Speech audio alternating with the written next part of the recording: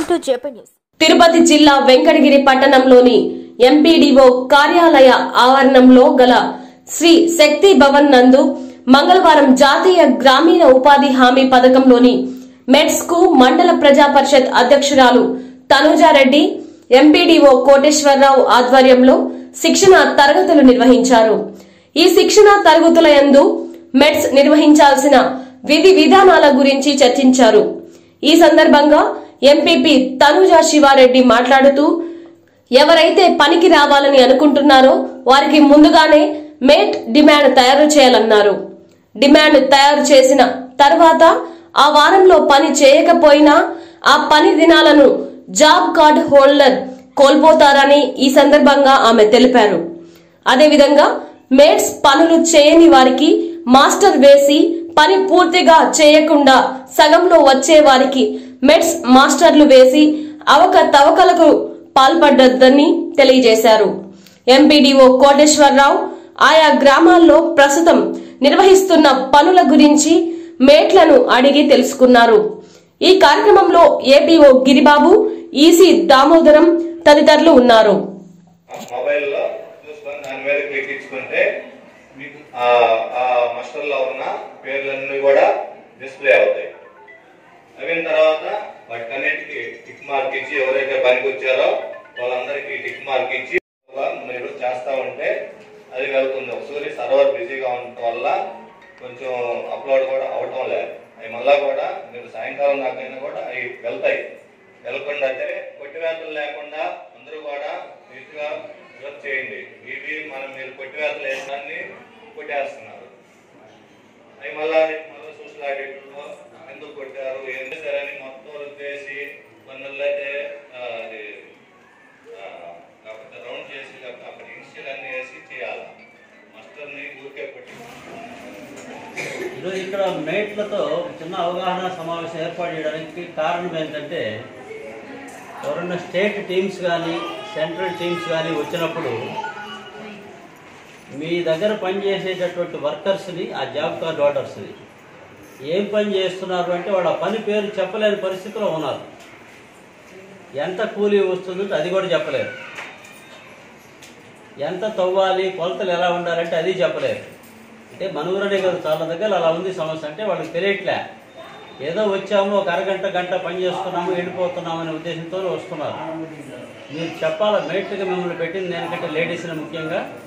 మీరు అందరికి బాగా అర్థమయ్యేటట్టు చెప్పగలరని మీరు వాళ్ళకి చెప్పాలి ఇంత రెండు మీటర్ల పొడవు రెండు మీటర్ల ఎడల్పు ఒక అడుగు లోతు తవ్వితే రెండు వందల యాభై ఏడు రూపాయలు వస్తుంది.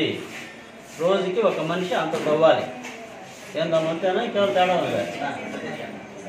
సో అట్లా ఎంత వస్తుంది? రెండు వందల యాభై ఏడు రూపాయలు వస్తుంది. ఎన్ని గంటలకు వస్తారు రోజు ఉదయం పూట? ఎన్ని గంటలు దాకుంటారు పదకొండు దాకా ఉంటారా? ఎనిమిది నాలుగు తొమ్మిది కల్లా జంప్ అయిపోతారు సహజంగా. మీరు పదకొండు. మీరు పదకొండు దాకా అదే మా ఉన్నప్పుడే రెండు వందల యాభై ఏడు రూపాయల కూలి గిట్టుబాటు అవుతుంది. మనం ఆరుకు వచ్చాము ఏడున్నరకి వెళ్ళిపోయినాము రెండు వందల యాభై ఏడు రమ్మంటే ఎట్లా వస్తుంది? రాదు కదా. ఒకడేమో గబగబా తవ్వుతాడు ఒకడు తవ్వలేని ఉంటాడు. అట్లాంటప్పుడు తేడా రాకుండా ఉండాలంటే అందరూ ఒకే టైంకి రావాలి ఒకే టైంకి వెళ్ళాలి. అప్పుడు మాత్రమే కరెక్ట్ రేట్ వస్తుంది మీకు. చెప్పాలి మీరు అది జనానికి అవగాహన. మీరు చెప్తారని అనుకుంటున్నాము కానీ జనాలందరికీ కూడా మీకు తెలిసి ఉండొచ్చు వాళ్ళకి తెలియకపోవచ్చు కదా. ఇప్పుడు మీ ఈసీ గారు చెప్పినట్టు అటెండెన్స్ కూడా ఆ షీట్ వస్తుంది ఒకటి పది మందికి ఒక షీట్ వస్తుంది. ఆ షీట్లో ఈ వారం పైన ఉంటుంది పక్కన డేట్లు ఉండవు. ఒకటి రెండు మూడు నాలుగు ఐదు ఆరు అని ఉంటాయి. సో ఒకటి అంటే పదో రోజు రెండో తేదీ పదకొండు మూడో గడి పద్ పన్నెండు నాలుగో గడి పదమూడు అట్లా వారానికి వస్తుంది. మీ మొబైల్ యాప్లో ఎన్ఎంఎంఎస్ యాప్లో వేయాలి. అందరికీ ఎన్ఎంఎంఎస్ యాప్ లాగిన్ అయ్యారా? అందరూ గట్టిగా చెప్పట్లేదు? అందరికీ అటెండెన్స్ వేయడం వచ్చా? సో మీరు అటెండెన్స్ కరెక్ట్గా చేస్తే ఇప్పుడు ఆయన చెప్పినట్టు ఇందాక సాయంత్రం ఎప్పుడైనా వేయండి. కానీ ఉదయం ముందు పనికి రావాలి. పనికి రాకపోయినా సాయంత్రం ఇంటి దగ్గర వేయబాకండి. అన్ని దొంగదారులు ఎక్కి అలవాటు ఎక్కువ మనకు. చెప్తావమ్మా? అవే మీ ఊళ్ళో ఏమేమి పనులు జరుగుతున్నాయో చెప్పు.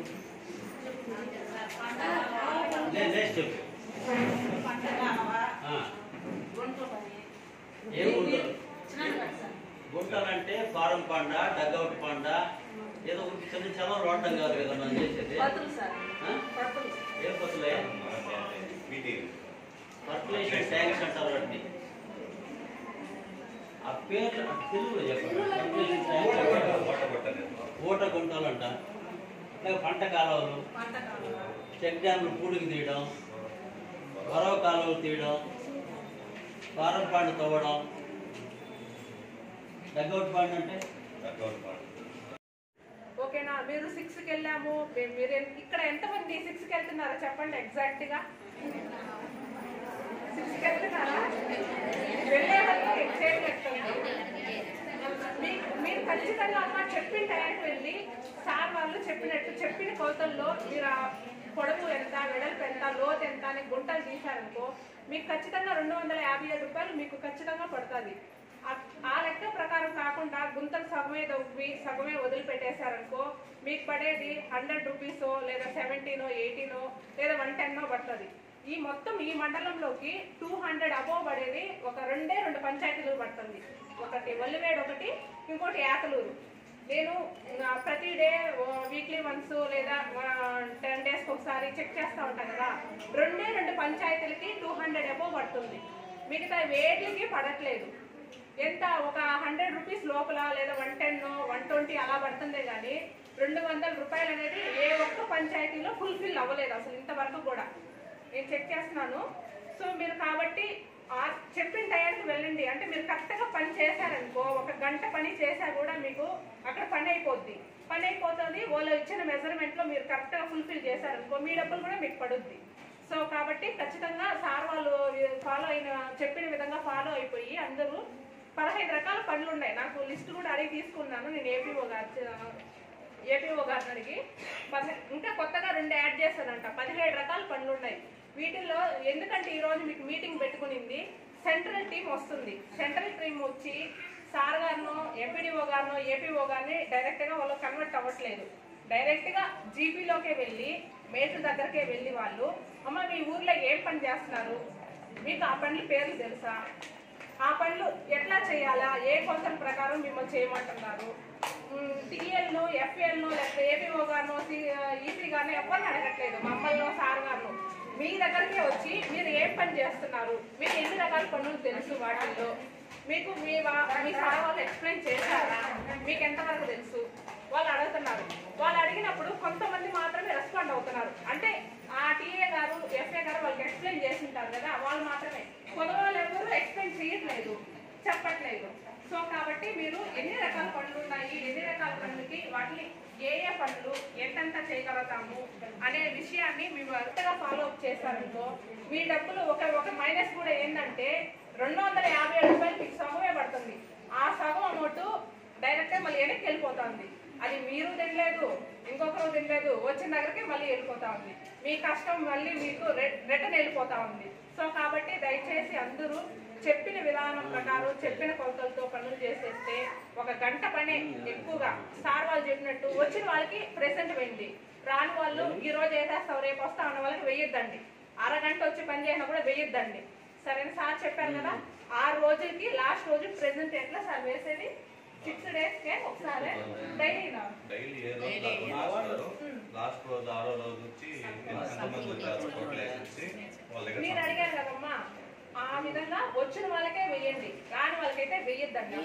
ప్రెసెంట్ అయితే ప్రెసెంట్ ఆబ్సెంట్ అయితే ఆబ్సెంట్ నిర్మోహమాటంగా చెప్పేసేయండి. వచ్చిన వాళ్ళకి మాత్రమే వెయ్యండి. రాని వాళ్ళకి వేయద్దు మేము వచ్చినాము మేము కనపడ్డామన్నా కూడా వెయ్యొద్దండి. వాళ్ళు ఏదైనా మాట్లాడితే తర్వాత మేము కాదు మాట్లాడుతున్నాం వారంలో రెండు రోజులు వస్తారు. మూడు రోజులు రోజులు. ఎందుకు వేస్తారు పోనీ ఓకే రాని రోజు. వాళ్ళ పని మీరు చేస్తారా చేయరు కదా. వాళ్ళ పని మీరు చేయనక్కర్లేదు వాళ్ళకి మీరు బ్లడ్స్ కూడా అక్కడ వేయనక్కర్లేదు వచ్చిన వాళ్ళకి ఏంటన్నా అందరికీ ఈ విషయం మీద అవగాహన కల్పించడానికి ఈ రోజు ప్రత్యేకంగా ఈ మీటింగ్ పెట్టాం. ఆడవాళ్ళని ఎందుకు మేట్లుగా పెట్టారంటే ఆడవాళ్ళు అయితే గట్టిగా పని చేపిస్తారు. మగవాళ్ళకి ఏదో అట్లా నిలబడతారు వెళ్ళిపోతారు. అట్లా కాకుండా ఆడవాళ్ళు అయితే గట్టిగా నిలబడి పని చేపిస్తారు. వాళ్ళకి అర్థమయ్యేటట్టు చెప్తారు అనే ఈ- ప్రభుత్వంలో పర్టికులర్గా పర్టికులర్గా ఆడవాళ్ళనే పెట్టాలా? ఖచ్చితంగా ఆడవాళ్ళకే ఇప్పించండి. Ten seven to tenth pass అయిన వాళ్ళకి అని ఖచ్చితంగా చెప్పి మన సీఎం గారు ఆడవాళ్ళనే పెట్టండి అని చెప్పి ఆడవాళ్ళకి ఇచ్చారు ఈ అవకాశం. సో ఈ అవకాశాన్ని మీకు ఇచ్చినందుకు మీరు ఎంతవరకు చేయగలవు? మనం మనకు ఎంతవరకు సత్తా ఉండేది అనేది మీరు చూపించుకోవాలి. ఓకేనా? ఈ అవకాశం ఇచ్చినందుకు సార్ వాళ్ళకి నా ధన్యవాదాలు. మీరందరూ రావటం అనేది లేదు. ఇంకా రెండో విషయానికి వస్తే డిమాండ్ ఒకసారి ఆరు రోజులకి ఇచ్చాక మనం రెండు రోజులకే పనికి వచ్చాం అనుకోండి రెండు రోజులకే. వీళ్ళు నాలుగు రోజులు మునిగిపోయినట్టే. అంటే ఆరు రోజులు పని చేసినట్టే అది డిమాండ్ అయిపోద్ది. మళ్ళీ మనం లెటర్ పెట్టుకొని అది ఎప్పుడు సాల్వ్ అవుతుందో తెలియదు అప్పటి వరకు మనకేమో పని చేయకపోయినా కూడా మనకు జాబ్ కార్డుకి వంద రోజులు అయిపోయిందని మనకు చూపిస్తుంటది. కాబట్టి దయచేసి మీరు ఇది గ్రహించి డిమాండ్ ఇచ్చేటప్పుడు కూడా ఆ వ్యక్తి ఎన్ని రోజులు పనికి వస్తారు పనికి వస్తానంటేనే డిమాండ్ ఇవ్వండి. లేకుంటే డిమాండ్ ఇవ్వకూడదు. అదే విధంగా ఒక మనిషికి వారానికి ఎంత? పదిహేను వందల నలభై ఏడు రూపాయలు ఒక్క వ్యక్తి. అందులో పదిహేను వందలు వచ్చినప్పుడు నలభై ఐదు రూపాయలు నష్టపోయినట్టే. ఎందుకు వెళ్ళాలి ఆ డబ్బు? ఎందుకంటే యాతులూరు వాళ్ళు నేను చూశాను ఇప్పటికి మూడు సార్లు పోయాను నేను చేసి రెండు నెలలు అయినా కూడా. వాళ్ళు ఇచ్చిన కొలత ఎంత టైం అయినా సరే చేసుకునే వెళ్తారు అది పదకొండు గంటలైనా పదున్నర అయినా ఆరు గంటలకు వచ్చి చేస్తూనే ఉంటారు. మరి మిగతా వాళ్ళు కూడా ఆ విధంగా అమౌంట్ మనం నష్టపోకూడదు అనుకుంటే.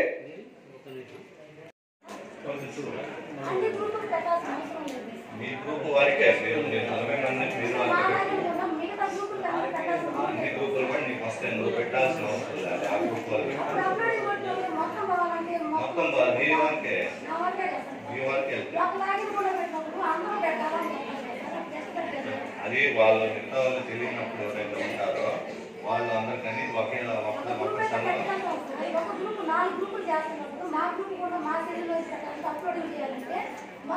ఒక్క చేసుకోవచ్చు ఏ గ్రూపుల వారికి చేసుకోవచ్చు ఇప్పుడు నీకు ఎన్ని గ్రూపులు? నాలుగు గ్రూపులు. మామూలుగా నలభై మంది రేటు మేము. చేస్తాం ఒక ముప్పై మంది వస్తారు.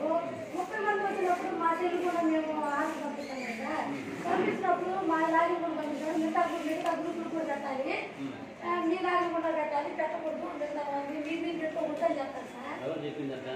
అట్లా? మా దీని ఆ. అయినప్పుడు ఇప్పుడు మా నలభై మంది కూడా మేము పని ఇప్పుడు ఏ గ్రూప్ పెట్టి ఆ గ్రూప్ పెట్టుకోవడం పెట్టుకోవచ్చు సార్ వాళ్ళు మా లాగిన్ ఉంటే అన్ని గ్రూపులు వాళ్ళు పెట్టాలి పెట్టుకోలేకపోయినా చేత కాకపోతే ఆ, చేత కాకపోతే ఎవరైనా యాక్టివ్గా పంపిస్తారు కదా. వాళ్ళు చెప్పేస్తారు వాళ్ళు చేయమని అదే సార్ రెండు గ్రూపులు ఇప్పుడు అన్ని గ్రూపులకి పెట్టాలంటే వాళ్ళు వాళ్ళు ఉంటారు వాళ్ళు మేట్ ఉంటుంది. ఎప్పుడన్నా పొరపాటు మొబైల్ వాళ్ళ మొబైల్ పనిచేయాలి డబ్బులు ఇస్తే నేను పెట్టమంటాను